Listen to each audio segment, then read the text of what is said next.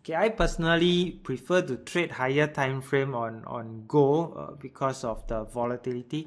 Uh, there's a tendency for for shadows to be long on a low time frame, and usually these are the shadows that uh, will hit uh, my stop loss before it uh, goes in my direction.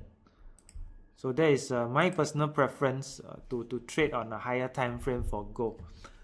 But if I do decide my trade on lower time frame like H1 or lower, then the, a way for me to counter all this shadow would be uh, set a wider stop loss. But if I set a wider stop loss, then it comes the next question is my risk reward may not be so favorable. So I have to balance all these different factor and uh, decide whether I would go ahead with the trade or not. So hopefully uh, whatever I shared earlier is, is to give you some insights to how I decide my trade. So back to uh, gold. Uh, benefit from uh, US dollar weakness after non-farm payroll. And then uh, now price is consolidating in the last almost uh, more than 12 hours more than 12 is uh, 15 16 hours. Uh, very tight consolidation and then uh, a whipsaw going upwards. You see the shadow. So anyone who has uh, placed pending order above the tight consolidation uh, most likely would get hit by this shadow.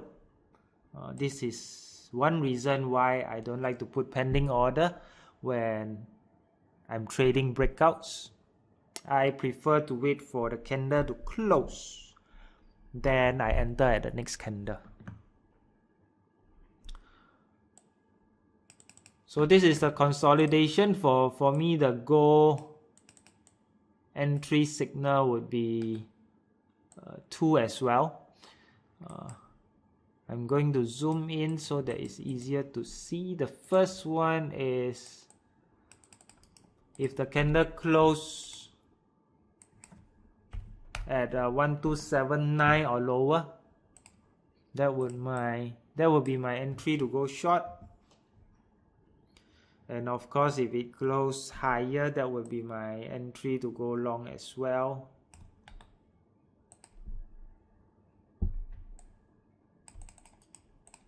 one two eight two or higher that would fulfill my criteria for long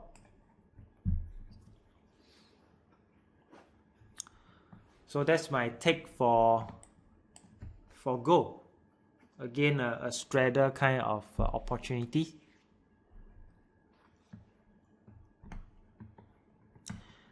Uh, okay, let me quickly